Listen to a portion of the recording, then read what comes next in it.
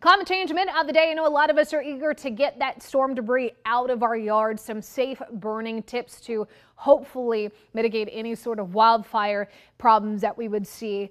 Never use flammable liquid. And I know this is tempting, especially because we're probably a little wet out there with the recent rainfall. Do not use any sort of gasoline uh, or, or fire material.